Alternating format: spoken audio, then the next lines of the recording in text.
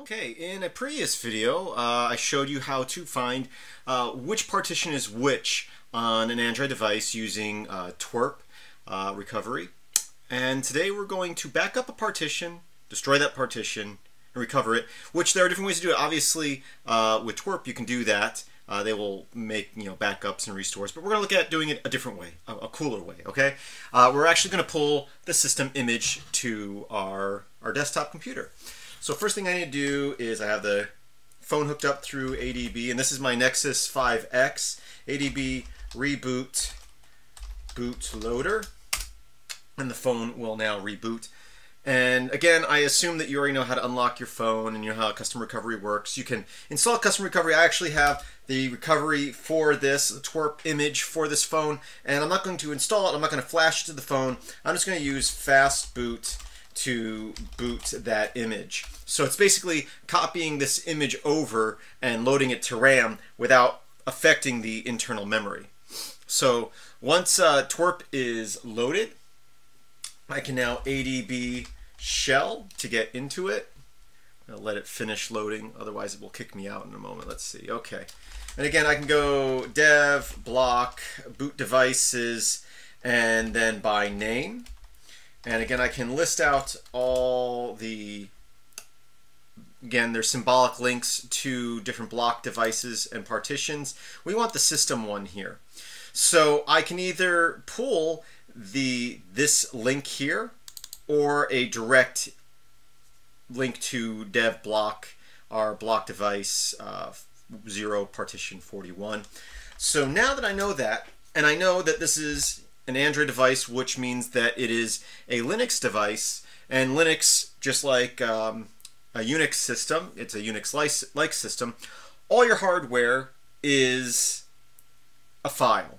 So real quick, with ADB, we know that we can push and pull files. So I can ADB pull, and I can pull um, that partition, and I can just call it whatever I want. I'll call it system.img, and I am going to pull that.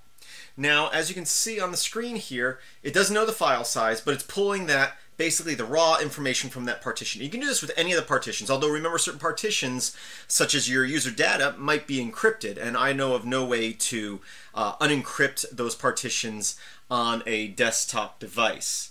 Uh, but you can always load it to a phone and decrypt it. Uh, also realize that we're pulling the raw data. It's better to have it unmounted. You can pull it while it's mounted, just you don't want to be making changes to the partition while you're backing it up. That's usually a bad idea when you're backing things up. And again, we're pulling this. It's going to be just like any other image. Now, you could log onto the phone and use DD. There's a lot of tutorials using DD to make a copy of that partition.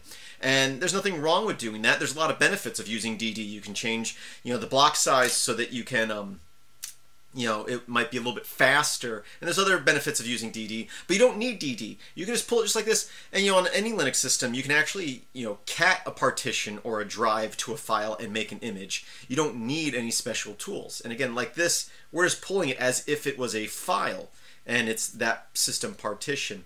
Do realize though, in this particular case, this system partition is a 3 gig partition only under two gigs of that is being used. Over a gig of it is free space, but it's still going to pull down three gigs in size because it's pulling down the whole partition. Now, once you pull it down and once you use it, you can compress it with gzip or some other compression tool, and it should compress very well because that empty space, in theory, should compress very well.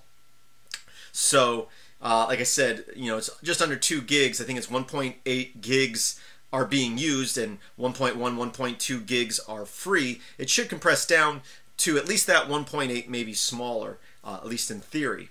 Also, once we have it pulled, you'll see we can look at this particular partition is just a standard Linux partition. Again, the system partition is basically your core of Android.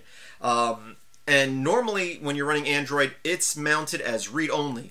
All your changes, all your installed uh, applications uh, usually don't mess with the system partition. And in fact, if you go to, if you modify your system partition and you go to do an, an official update, it probably won't let you because it's going to look at that partition and realize it's been modified and it won't push the update. So you do want to, if you're going to make any modifications to the system partition, definitely have a backup so that later on if you want to do a, a an upgrade of an official stock upgrade, uh, you can do that.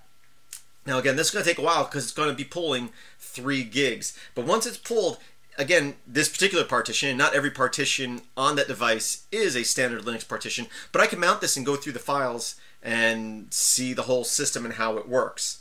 Uh, what I'm going to do here is I'm going to speed up the video to the end of this because it's going to take a little while to do and then we will trash the system and reflash the system uh, which is actually very simple uh, but we'll also make sure that our backup uh, backed up properly so let's go ahead and speed things up.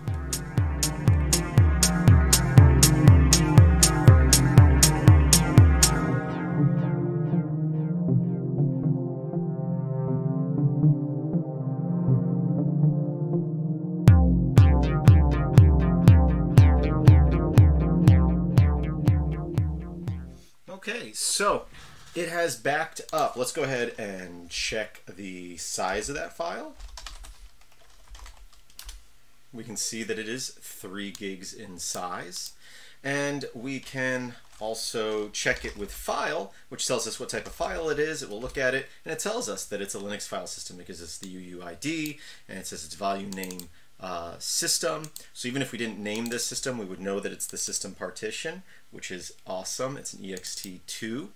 And um, now we want to make sure that it was backed up properly, that it's identical to the one on the phone. So I can uh, sum, or sorry, MD5 sum this file, system image, and it's going to take a little while to do that. While it's doing that, I'm going to split the screen here, and I'm going to ADB shell into the phone, and I will go device, um, uh, what am I doing?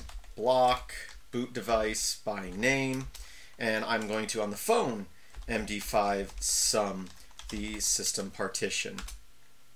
And we should get the same output for those two things, the image and that partition should have an identical output. If they don't, then it didn't copy uh, identically, and that could be bad. Could mean something's corrupt. There we go. So you can see E48927, E48927, and all the way down to 28 ED. So we got a great copy. So what I'm going to do here, let me close out the screen here. So I am currently on my phone right here, and I am going to mount that system drive. So I'm going to mount system to the system folder, and I will go into the system folder, and you can see everything here. And I'm going to be brave. I'm going to say remove everything from here. And so I just wipe my system clean.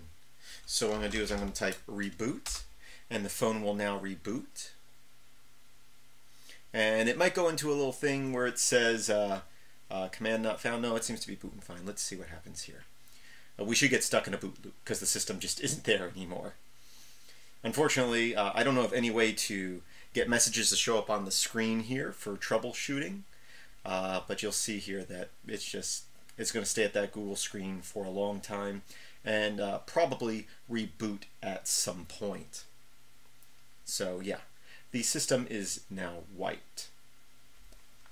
I mean, I can sit here longer to prove it, but you saw me wipe it. So what I'm going to do now is I'm going to hold down my power button, and when the phone turns off after, I don't know, 5 or 10 seconds, I'm going to hold down the volume button, volume down button. Okay, so now I'm going to fast boot, boot my recovery image again.